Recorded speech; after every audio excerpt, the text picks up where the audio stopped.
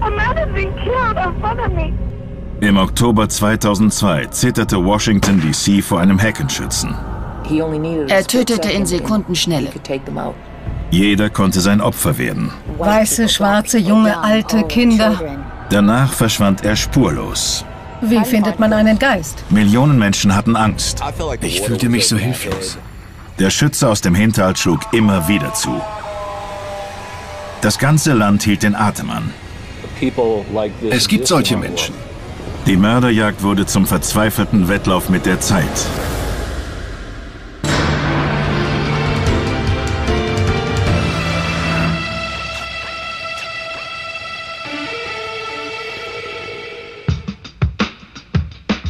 Montgomery County, Maryland, grenzt an Washington, D.C. Im Gegensatz zur Hauptstadt der USA, einer der gefährlichsten Städte des Landes, gilt Montgomery als eine überaus beschauliche und sichere Gegend. Doch im Oktober 2002 wird die Idylle des wohlhabenden Städtchens jäh zerstört. Die Mordserie beginnt an einem Mittwochnachmittag im Einkaufszentrum in Wheaton Glenmont. James Martin will nach der Arbeit noch schnell ein paar Lebensmittel einkaufen, bevor er nach Hause zu seiner Frau und seinem elfjährigen Sohn fährt. Plötzlich fällt ein Schuss. Auf dem Parkplatz hört eine Frau einen Menschen aufstellen. Sie sieht, wie James Martin auf dem Bürgersteig zusammensackt. I'm at Tapestry Warehouse on Randolph Road, and a man just fell in the parking lot. There was a loud noise, but we're not sure if he was shot. Die Anruferin sucht hinter ihrem Auto Schutz, im Arm ihre fünfjährige Tochter. Is he bleeding? Yes. Where's he bleeding from? I, I don't know. I'm like half an aisle away from him. Is it inside? No, it's outside in a parking lot. Oh, there's a police officer here now. Einer der ersten dort war ein Polizist, der den Schuss gehört hatte. Martin ist bewusstlos und blutet stark aus der Brust. Er versuchte erste Hilfe zu leisten, aber er sah sich auch nach Verdächtigen um. Minuten später ist James Martin tot. Einer der Ermittler benachrichtigt die stellvertretende Polizeichefin Deidre Walker. Er erklärte die Umstände und die waren in der Tat sehr beunruhigend. Die kleine Eintritts- und große Austrittswunde ließen auf ein Präzisionsgewehr schließen. Ich ließ mir alle möglichen Erklärungen durch den Kopf gehen. In dem Bezirk hatte es bis dahin keine Drive-by-Shootings, also Schießereien im Vorbeifahren gegeben. Ich hatte gleich das Gefühl, da würde noch was nachkommen. Die Spurensicherung sucht die Gegend nach Patronenhülsen ab und dokumentiert Schuhabdrücke und Reifenspuren. Inzwischen ist es Nacht geworden und die Polizei hat immer noch keinen einzigen Hinweis darauf, warum James Martin sterben musste. Dass Deidre Walker mit ihrer düsteren Vorahnung recht behalten sollte, zeigte sich schon am nächsten Morgen. Sonny Buchanan mähte am frühen Morgen den Rasen. Diejenigen, die ihn fanden, dachten erst, er hätte sich an seinem Rasenmäher verletzt. Sie riefen die Notrufnummer an. What's going on there? Uh, this guy's lawnmower did something, man. It chopped him up. He's bleeding real bad. He's down and out. Die Feuerwehr schickte nur den Notarzt. Die Sanitäter merken schnell, dass dies kein Unfall gewesen sein kann. Sie bringen Buchanan auf die Unfallstation, doch unterwegs hört sein Herz auf zu schlagen. Ein Arzt erklärt, er habe noch niemanden gesehen, der so viel Blut verloren hat. Sonny Buchanan war der Sohn eines hiesigen Polizisten, war also Familie. Sein Tod bildet den Auftakt zum wohl blutigsten Vormittag in der Geschichte des Bezirks Montgomery. Um 8.07 Uhr biegt in Aspen Hill ein Taxi in eine Tankstelle ein. Dort tankt gerade Carolyn Namro, ihr kleines Kind auf dem Rücksitz, immer im Blick. Plötzlich hört sie einen lauten Knall.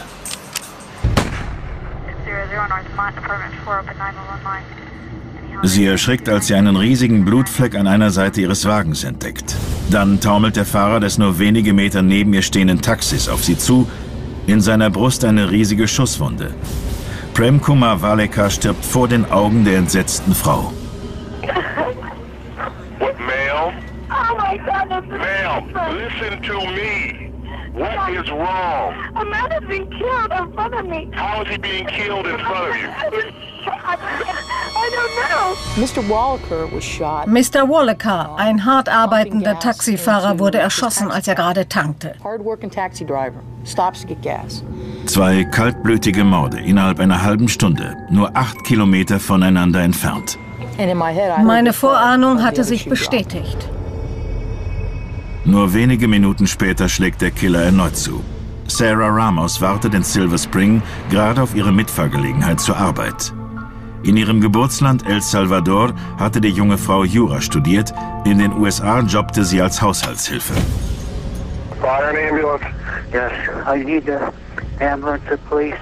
Augenzeugenberichte sorgen für zusätzliche Verwirrung.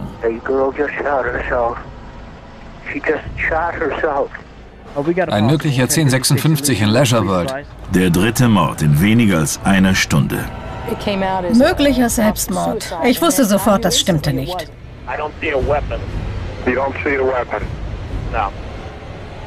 Diesmal findet die Polizei die Kugel, Kaliber 223. Sie war durch die Stirn des Opfers eingetreten, durch den Hals wieder ausgetreten, hatte das Fenster eines Restaurants durchschlagen und war dort auf dem Boden gelandet. Doch da treffen in der Notrufzentrale schon wieder neue Anrufe ein.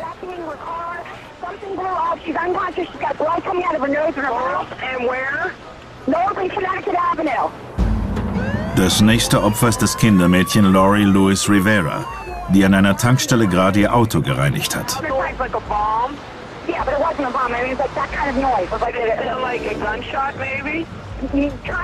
Das ist der fünfte Mord an diesem Morgen. Jede halbe Stunde ein neuer Anschlag. Alle fünf Tatorte befanden sich in Montgomery County, in einem Gebiet von lediglich 16 Quadratkilometern. Und es hat in der Gegend noch weitere Zwischenfälle gegeben. Am Vortag hatten die Angestellten des Michaels Craft Store ein lautes Knacken gehört und eine Kugel in ihrer Fensterscheibe gefunden.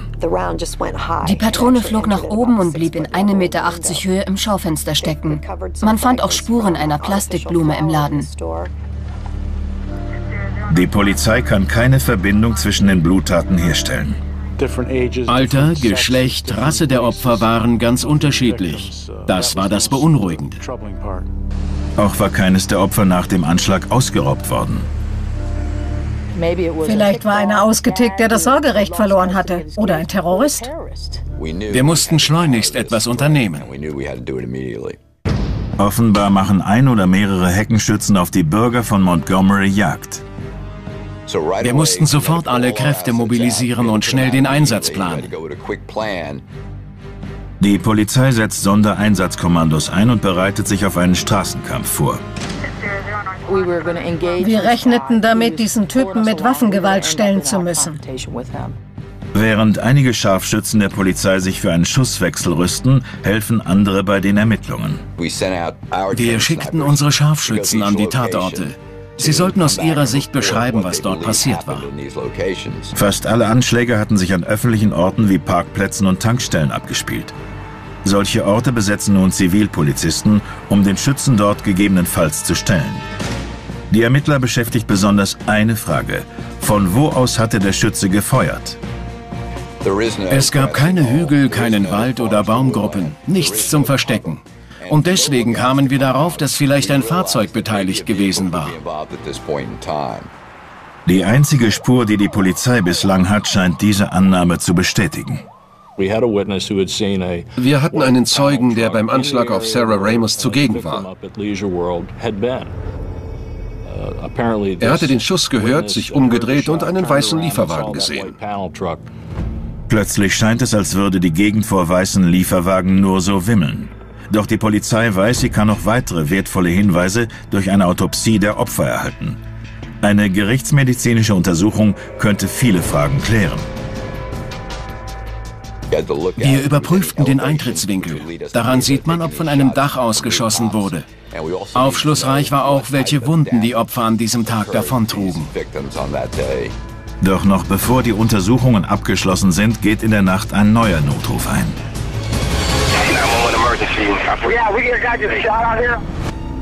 Pascal Charlitz, einen 72-jährigen Haitianer, traf der Schuss, als er die Straße überquerte. Er befand sich knapp außerhalb der Bezirksgrenze von Montgomery in Washington, D.C. Ich fuhr zum Tatort und dort kam ich zu der Vermutung, dass mit diesem Opfer das Töten in die Gegend der Hauptstadt ausgedehnt werden sollte. Doch inzwischen war das kleine Polizeihauptquartier in der Bezirkshauptstadt Rockville zum Zentrum der verzweifelten Jagd auf den Heckenschützen, auch Sniper genannt, geworden. Ab Freitag, den 4. Oktober 2002, bangen nun auch die Einwohner von Washington, D.C. um ihr Leben. Ob beim Tanken oder rausgehen, man ist einfach wachsamer. Die Angst war überall spürbar. Jeder machte seine Arbeit mit einem ganz unguten Gefühl. Sechs Menschen sind in weniger als 48 Stunden auf offener Straße erschossen worden. Und die Polizei hat weder Verdächtige noch Spuren oder Motiv. Und jeder könnte das nächste Ziel sein. Wenn jemand tankte, tänzelte er herum. Keiner ging mehr gerade auf der Straße. Polizeichef Charles Moose setzt als Leiter der Ermittlungen Barney Forsyth ein, seinen erfahrensten Mann. Der Chef fragte mich, was ist die Verbindung? Und ich sagte, es gibt keine Verbindung. Das ist der rote Faden. So ein Fall ist natürlich sehr schwer zu bearbeiten. Polizeichef Moose lässt schon früh auf eine Pressekonferenz der Öffentlichkeit so viele Informationen wie möglich zukommen. They still all appear random victims don't appear to be anyone's enemy, don't appear to be involved in anything coordinated, just simply random targets. Schulen werden abgeriegelt und Soldaten davor postiert. Überall kreisen Helikopter. Inzwischen liegen auch die Ergebnisse der Autopsie vor. Vier der Opfer hatten Einschüsse im Oberkörper. Die Kugeln stammen aus einem Langstreckengewehr Marke Kalaschnikow oder Bushmaster. Diese Gewehre stammen vom Militär. Sie sollen nicht verletzen, sondern töten. Die Ballistikexperten der Polizei bestätigen, dass auch die Kugeln des Kalibers 223 Militärgeschosse sind. Die zerreißen alles.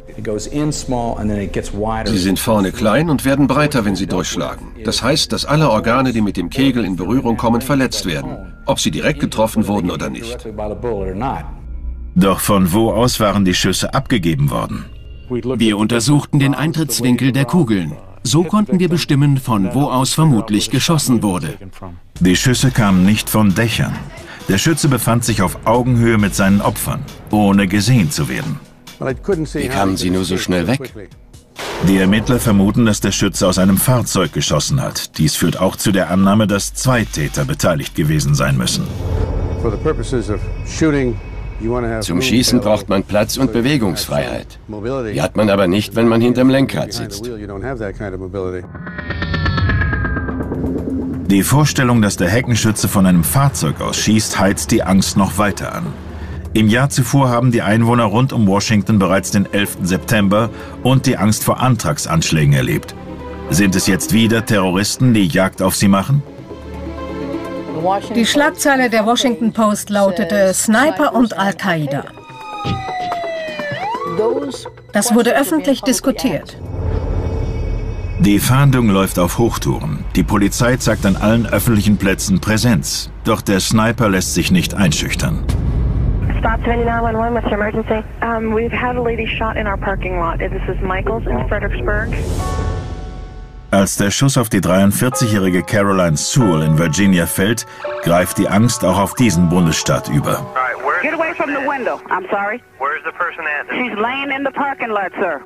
Wie durch ein Wunder ist die Mutter zweier Kinder noch am Leben. Say that again, honey. She's laying on the ground between our store and Michael's, and she is moving her arm. There's a lady standing over. There's a lady standing with her. Caroline Sewell ist das erste Opfer, das überleben wird.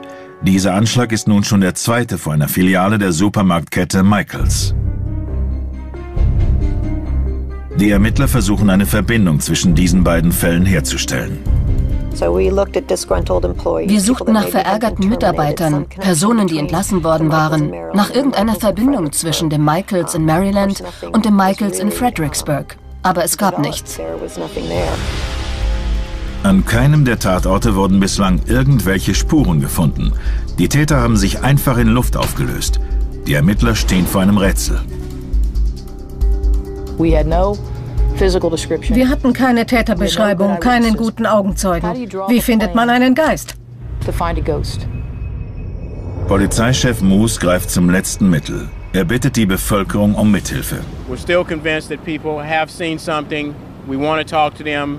We want to follow up. Die Polizei richtet eine eigene Hotline für Hinweise aus der Bevölkerung ein.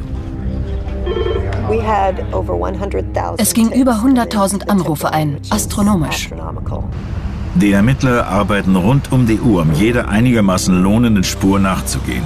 Drew Tracy folgt auf der Suche nach einem Muster eingehend der Route, die die Sniper zurückgelegt haben. Sie waren immer in der Nähe von großen Straßen und es handelte sich immer um Einkaufsmeilen, wo es bestimmte Läden gab.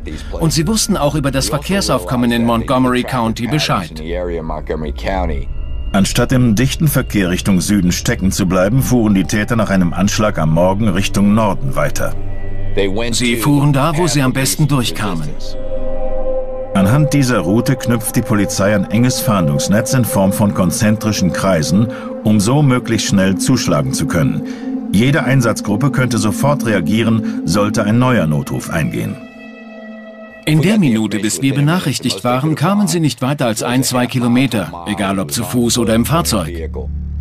Dann würden die Einsatzteams in dem entsprechenden Gebiet nach allen Seiten hin ausschwärmen. Unser Ziel war es, innerhalb von zwei bis drei Minuten vor Ort zu sein und von Polizei in Uniform alle Straßen absperren zu lassen. Zudem würde sofort jede Menge Zivilpolizei herbeiströmen. Es gab flächendeckend Straßenkontrollen. Wir wollten sie in ein bestimmtes Gebiet einsperren. Die Polizei sucht nach weißen Kleinlastern und anderen verdächtigen Fahrzeugen. Doch obwohl sie für ihre Verbrecherjagd alle erdenklichen Kräfte mobilisiert, sind ihr die Sniper immer einen Schritt voraus und schlüpfen durch das enge Netz. Sobald wir dachten, wir hätten alles unter Kontrolle, geschah etwas in einem anderen Zuständigkeitsbereich. Seit drei Tagen terrorisieren die Sniper nun schon die Gegend. Insgesamt sechs Todesopfer hat die Mordserie bislang gefordert. Nur eine Frau hat überlebt. Diese hohe Todesrate lässt nur einen Rückschluss zu. Das war jemand, der das Schießen gelernt hat. Jäger können das. Soldaten und Polizisten sind ebenfalls entsprechend ausgebildet. Weil die Tatorte der ersten beiden Tage so dicht nebeneinander lagen, hat die Polizei sich bei ihrer Fahndung vor allem auf Montgomery County konzentriert. Doch der Anschlag in Spotsylvania, Virginia, hat gezeigt, dass der Killer überall lauern kann. Womöglich ist er gar nicht aus der Gegend. Das Wochenende nähert sich und eine ganze Nation hält den Atem an. Wer wird das nächste Opfer sein? Ganz besonders in den Blickpunkt rückt nun auch die Sicherheit der Schulkinder. Mit meinen drei kleinen Kindern rannte ich über Parkplätze. Beim Tanken ließ ich sie im Auto auf dem Boden kauern. Übers Wochenende diskutieren Behörden und Polizei, ob die Schulen geöffnet werden sollen. Bislang hat es keine Schießerei in Schulnähe gegeben. All of the school children safely returned home. No incidents, no activities at the school. Die Behörden lassen den Schulbetrieb weiterlaufen, doch die Kinder müssen in geschlossenen Räumen bleiben. Meine Kinder sagten mir, Mama, du musst in die Arbeit gehen, bis du ihn geschnappt hast, damit wir in der Pause wieder raus dürfen. Das war eben ihre Sichtweise.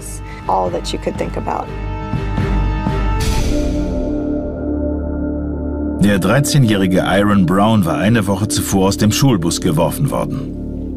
Er hatte Ärger, weil er im Bus Bonbons gegessen hatte. Darum fuhr ihn seine Tante zur Schule.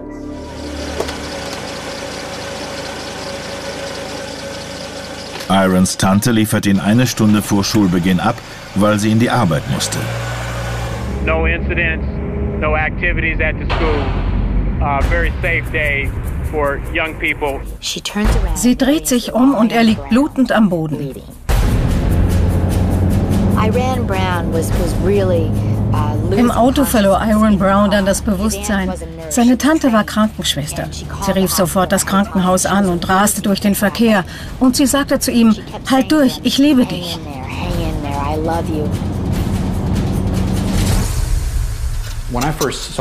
Als ich Iron sah, lag er im Sterben und ich wusste nicht, ob wir ihm helfen konnten.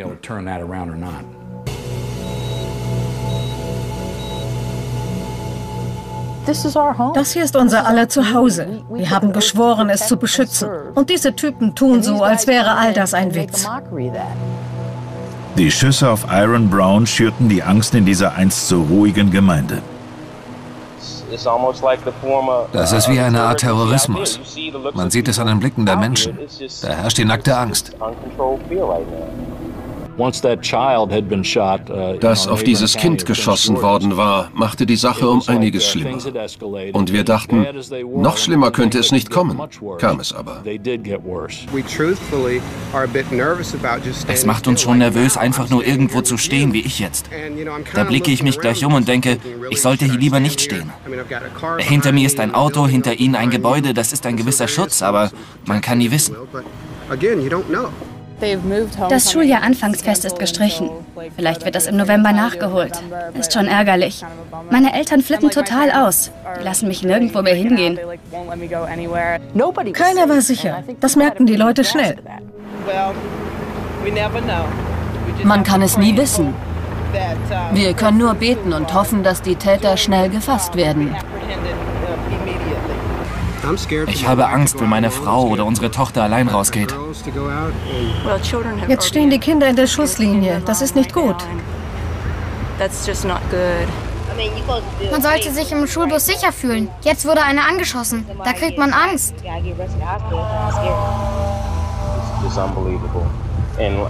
Unfassbar und so sinnlos. Da bricht aus heiterem Himmel diese Gewalt über unsere friedliche Gemeinde herein. Schrecklich. Sie müssen ihn schnappen. Sie brauchen schon viel zu lang. Wir gerieten immer stärker unter Druck. Meine eigene Frau fragte, sind unsere Kinder sicher? Und ich konnte nichts darauf sagen, weil ich es nicht wusste. Seit das anfing, muss ich immer daheim bleiben. Sie sagen die Spiele ab. Das ist die Softball-Liga für Erwachsene. Ihr seid erwachsen. Abgesagt? Warum? Zu unserer Sicherheit. Wir sind zwei Stunden lang hergefahren und ich hoffe, dass ich nicht tanken muss. Wir reden darüber, egal wo. Egal bei was, in der Schule, im Bus. Immer sieht man sich erst um. Ich mache das an Tankstellen. Überall, wo ich hingehe. Eltern glaubten, ihre Kinder seien nicht sicher. Zu Recht. Keiner wusste, wer der Nächste sein würde.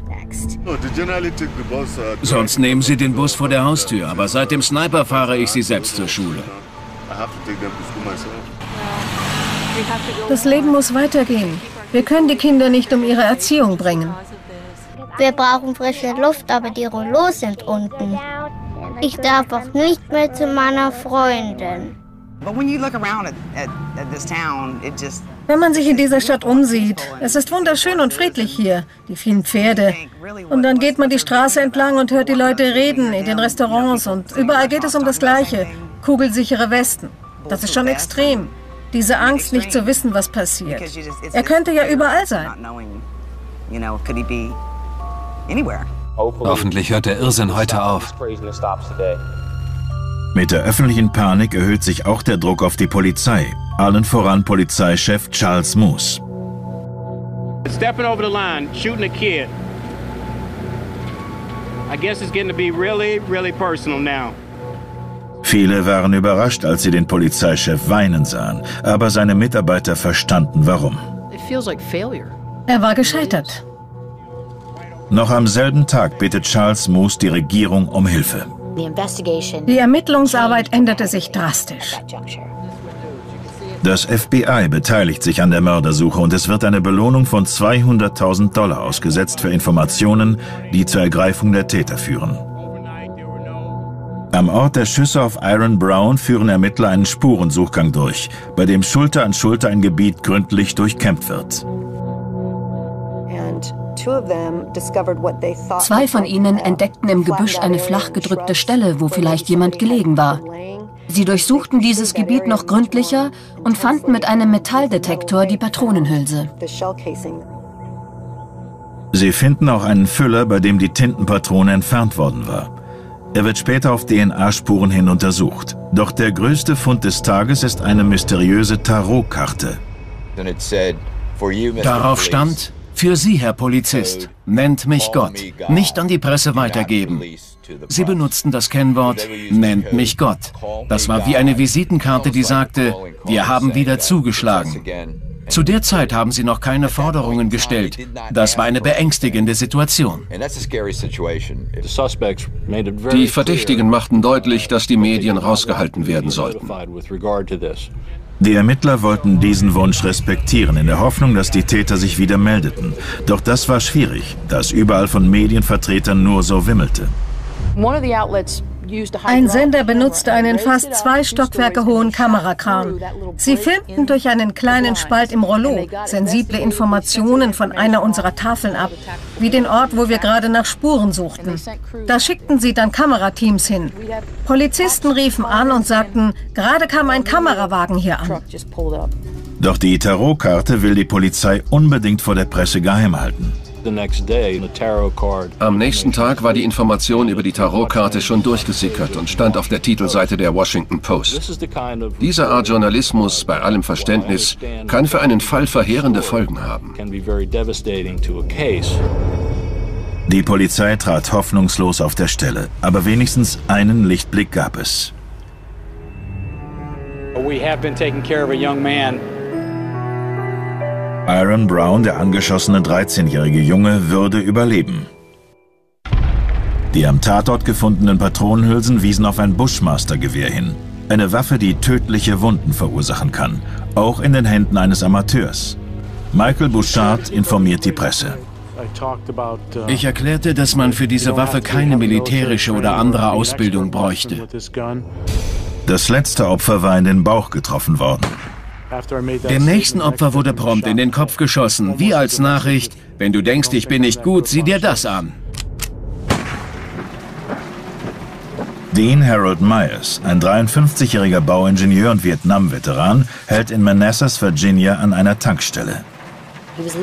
Er kam von der Arbeit und hielt an, um zu tanken, weil er einen weiten Heimweg nach Gaithersburg hatte. Er stieg aus und zapfte Benzin. Eine Kugel Kaliber 2,23 durchschlägt seinen Schädel. Ein solcher Kopfschuss ist tödlich. Da können wir gar nichts mehr machen. Zwei Tage danach wird Ken Bridges in Fredericksburg, Virginia erschossen, auch er beim Tanken. Drei weitere Tage später zeigen sich die Täter besonders grausam. Alle Notrufbänder gehen einem zu Herzen, aber dieses ganz besonders. Ted und Linda Franklin laden gerade Regalbretter in den Kofferraum ihres Wagens. Ted klettert nach vorne in den Fahrerraum, um den Sitz vorzuschieben. Linda bleibt so lange hinten am Wagen stehen.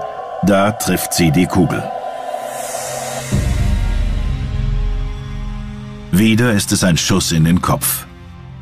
Your wife is shot? Yes. Where's she been shot? She shot in the head.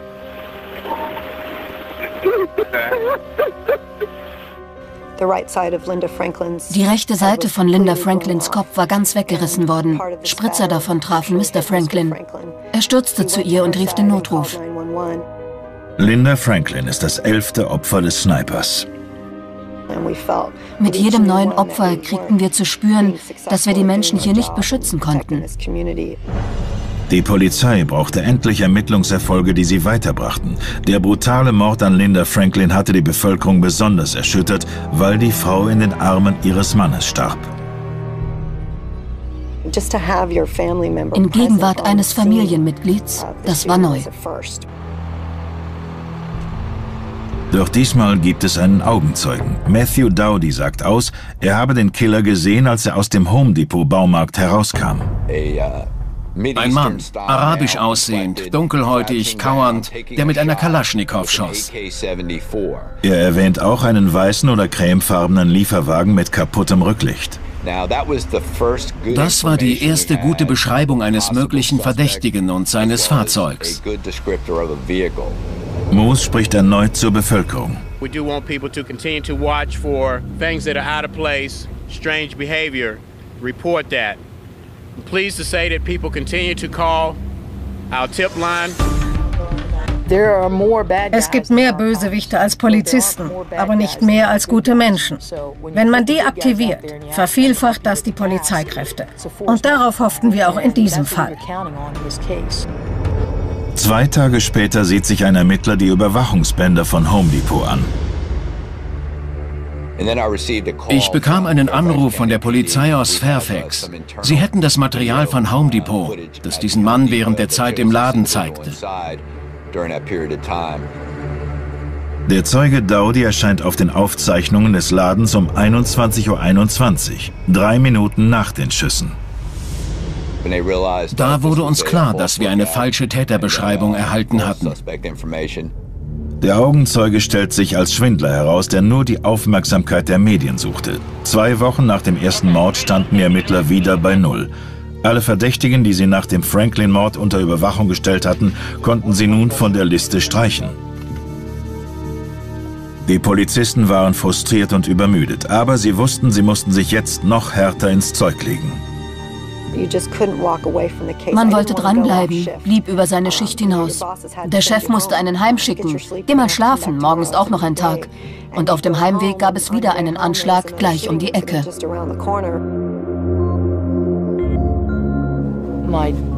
Meine liebe Sekretärin zu Austin ging mir in aller Früh noch Socken kaufen, weil ich nicht mal heimkam, um die Wäsche zu machen.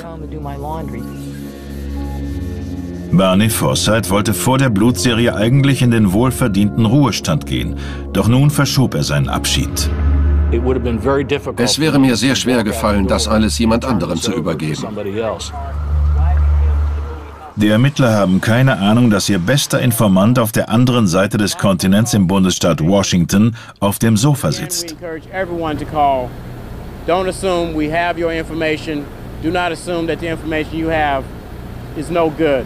Robert Holmes aus Tacoma sieht im Fernsehen einen Bericht über die Anschläge und ist alarmiert. Er hatte so ein Bauchgefühl, dass sein Freund John Mohammed dahinter steckte.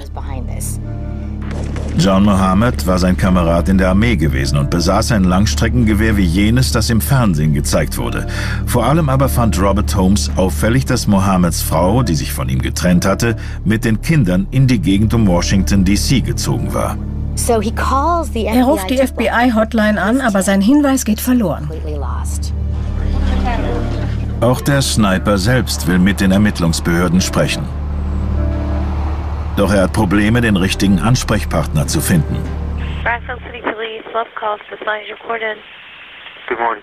Don't say anything, just listen. Where are the people that are causing the killing in your area?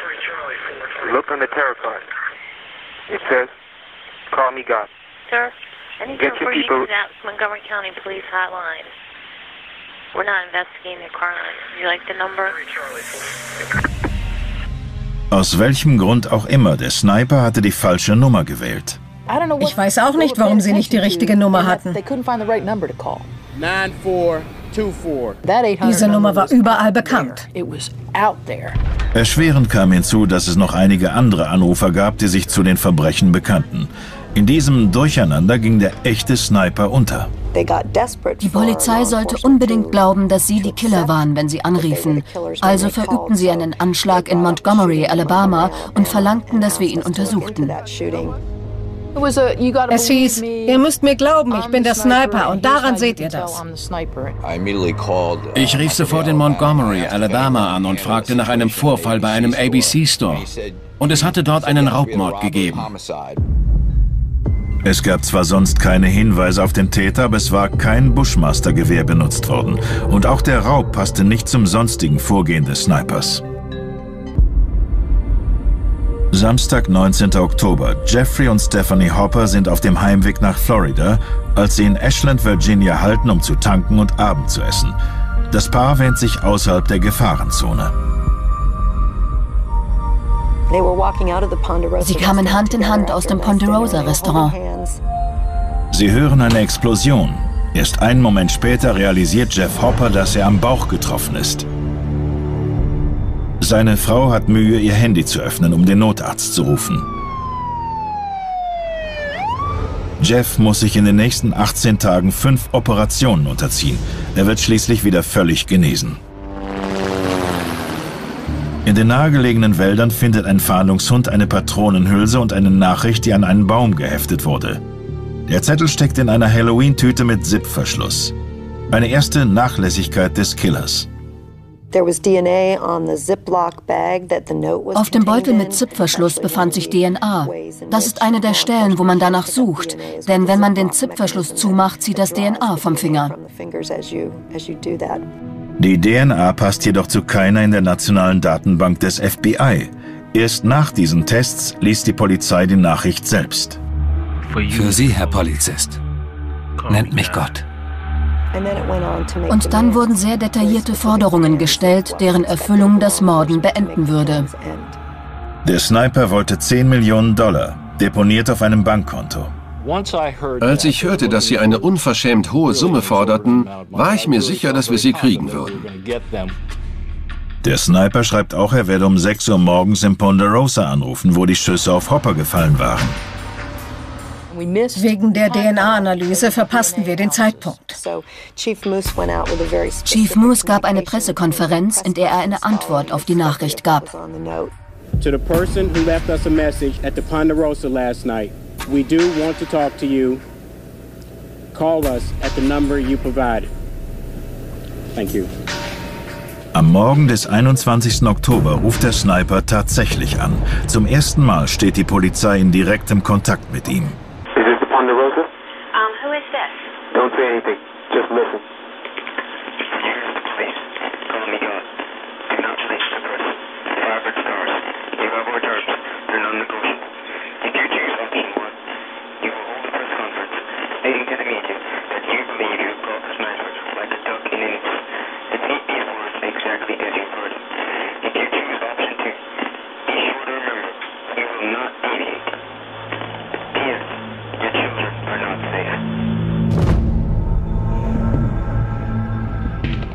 Der Anruf wird zu einer Tankstelle zurückverfolgt. Eine halbe Stunde später werden dort zwei Männer verhaftet, einer davon mit einem weißen Lieferwagen.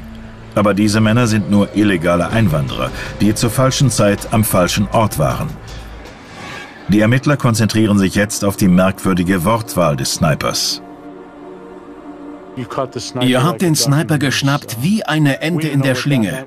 Wir sahen uns nur achselzuckend an und wussten nicht, was diese Worte bedeuten sollten. Der Sniper hat in der Nachricht auch den Anschlag in Alabama erwähnt. Bei einem erneuten Anruf dort erfahren die Ermittler, dass in der Nähe des Tatorts eine Waffenzeitschrift gefunden wurde. Die örtliche Polizei hat allerdings die Fingerabdrücke darauf noch nicht untersuchen lassen. Es hieß, wir konnten sie nicht prüfen, weil wir hier nicht über die nötige Technik verfügen. Das Heft wird also nach Washington, D.C. geflogen. Und siehe da, der Abdruck stammte von einem Lee Boyd Malvo. Lee Boyd Malvo war ein 17-jähriger Jamaikaner. Seine Fingerabdrücke waren von der Einwanderungsbehörde genommen worden. So bekamen wir einen Menschen und ein Gesicht zum Fingerabdruck. Die Polizei ist davon überzeugt, dass der Teenager einen Komplizen hat. Wir wussten, wenn es uns gelänge, diese Information nur 24 Stunden vor den Medien geheim zu halten, könnten wir sie fangen. Doch wenn das durchsickerte, würden sie wahrscheinlich für lange Zeit untertauchen. In einem Zeitraum von drei Wochen hatten die Sniper kaltblütig auf zwölf Menschen geschossen. Gerade als die Polizei glaubt, ihnen auf den Fersen zu sein, schlagen sie erneut zu. Wieder im Herzen von Montgomery County am 22. Oktober. Conrad Johnson, ein 35-jähriger Busfahrer aus Jamaika, wird das nächste Opfer. Als er in den Bus einstieg, um loszufahren, wurde er erschossen. Am Tatort findet sich an einem Baum eine weitere Nachricht. Eure Unfähigkeit hat ein weiteres Leben gekostet. Das FBI hatte 100.000 Dollar zur Seite gelegt für den Fall, dass es doch noch zur Verhandlung mit den Tätern käme. Aber den wichtigsten Teil des Puzzles hatten die Ermittler anhand des Fingerabdrucks auf dem Waffenheft längst geklärt. Sie mussten nur noch herausfinden, wo sich Leaboyd Malvo aufhielt. Die Fingerabdrücke waren an der Westküste genommen worden. Laut dem Einwanderungsbericht der Behörden in Bellingham, Washington, hat es einen Streit wegen Lee Malvo gegeben zwischen seiner Mutter und einem Mann namens John Mohammed. In dem Bericht wurde ein John Mohammed erwähnt. Er konnte also mit Lee Boyd Malvo in Verbindung gebracht werden. Mohammed hatte Malvos Mutter geholfen, von einer karibischen Insel aus illegal in die USA einzuwandern. Dort freundeten sich John Mohammed und Lee Malvo an und gaben sich oft als Vater und Sohn aus. In Tacoma spielen FBI-Agenten die Aufnahmen des Snipers Mohammeds altem Militärkameraden Robert Holmes vor. Er war sein langjähriger Freund aus der Army. Sie vertrauten sich.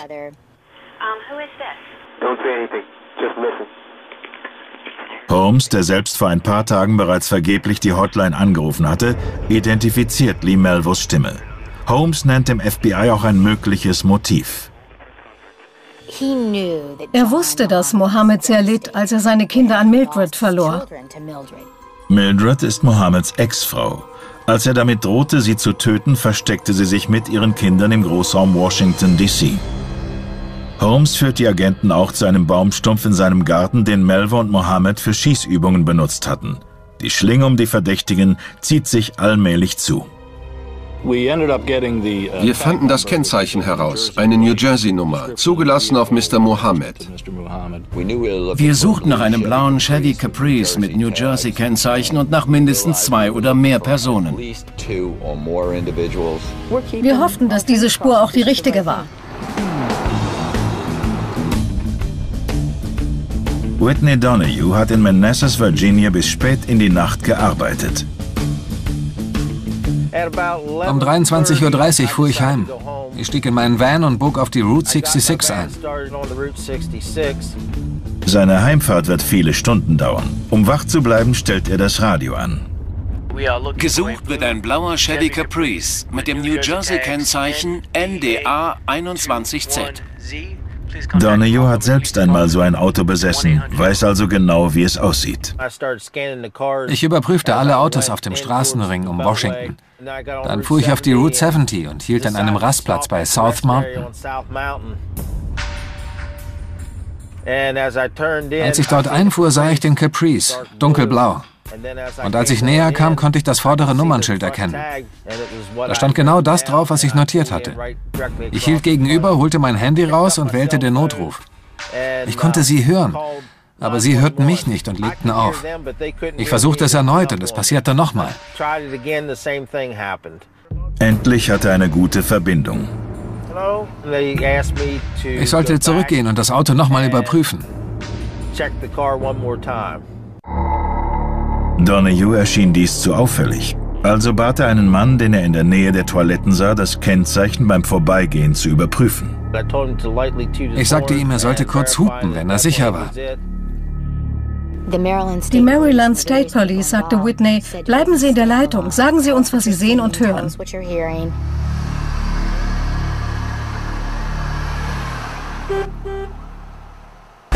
Und dann startete dieser riesige Einsatz. Ich fuhr so schnell ich konnte hin. Die Hubschrauber waren schon in der Luft. Ich erinnere mich, dass es eine kühle Nacht war und dort war es sehr ruhig. Sie sperrten den Highway ab. Spezialeinheiten bereiten sich auf einen Schusswechsel vor. Diese Leute hatten drei Wochen zusammen trainiert und die Verhaftung genau geplant. Sie nahmen also Aufstellung und zogen alles genau so durch.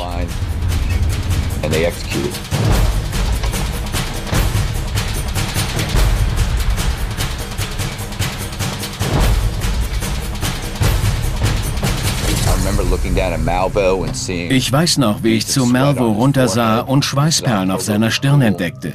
Es war Oktober und kühl. Er sagte kein Wort. Dann ging ich rüber und sah John Muhammad ins Gesicht. Er war wütend. Alles war schnell gegangen. Wir wussten, wir hatten sie und waren erleichtert, dass es vorbei war. Ich war extrem erschöpft, physisch und psychisch. Doch eine Sache muss Barney Forsythe unbedingt noch erledigen. Ich hielt an der Schule, an der meine Frau Marsha arbeitete. Ich holte sie aus der Klasse, umarmte sie und sagte, wir haben sie. Du darfst es noch niemandem sagen, weil es noch nicht öffentlich ist. Aber wir haben sie.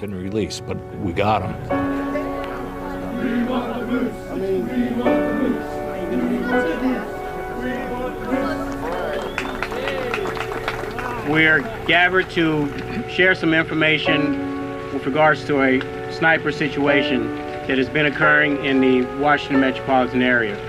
At approximately 1 o'clock a.m. today, a motorist called 911 to report seeing a 1990 Chevy Caprice Ich war daheim und sah die Nachrichten.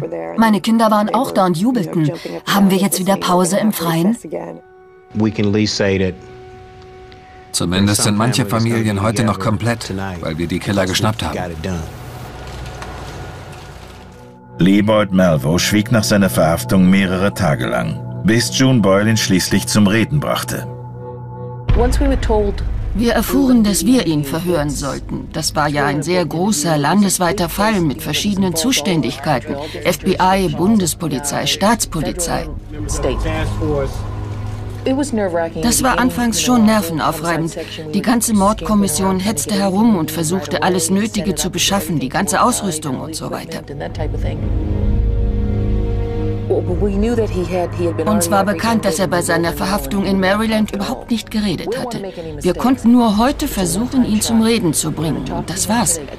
Wir mussten also an dem einen Tag so viele Einzelheiten wie möglich aus ihm rauskriegen, um unsere Behauptungen beweisen zu können.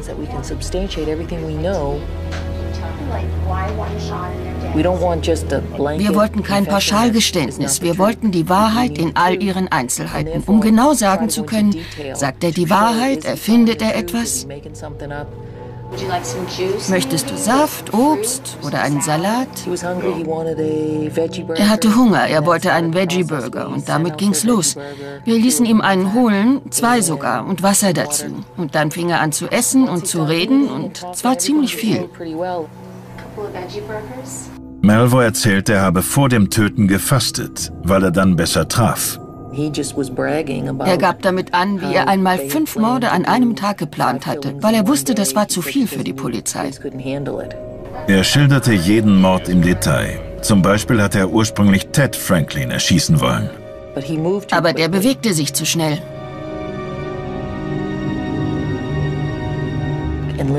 Linda Franklin ging zum hinteren Teil des Wagens. Er sagte, es dauerte keine zwei Sekunden. Er legte an und schoss. Dann zeigte er auf seinen Kopf, lachte und sagte, war ein toller Schuss. Melvo öffnete sich Boyle immer mehr und erzählte auch über seine Beziehung zu John Allen Muhammad. Er sprach von Mohammed mal als bestem Freund, mal als Vater. Jedenfalls standen sie sich sehr nahe und machten alles gemeinsam. Everything they did, they did together.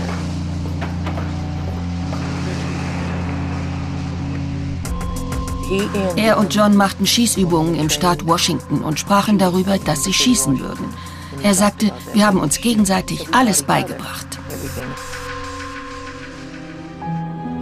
Viele Ermittler vermuten heute, dass John Mohammed im Lauf der Mordserie auch seine Ex-Frau erschießen wollte, um die Kinder zurückzubekommen. Ich halte es für plausibel, dass er auch sie als Zufallsopfer töten wollte.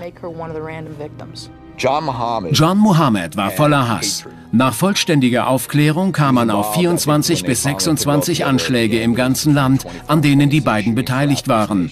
Muhammad hatte Lee Boyd Melvo beigebracht zu hassen.